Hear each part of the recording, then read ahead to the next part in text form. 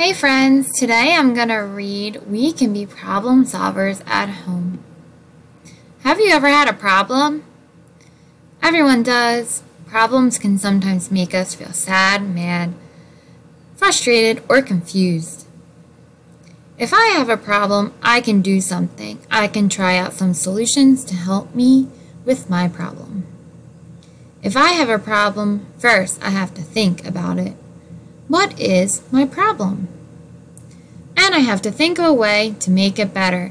Think, think, think of some solutions. Look at some solutions of how I can try. I can wait and take turns. I can get a timer. I can ask for help.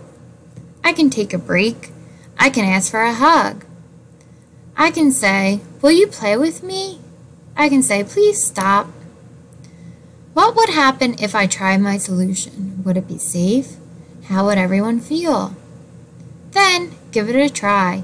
If my solution didn't work, I might have to think, think of another solution. Let's try being a problem solver. What are some problems that happen at your house? Your brother and sister might take a toy from you. You might get lonely and want to play with someone. You might get frustrated. You may say, This is too hard for me. You want to play by yourself.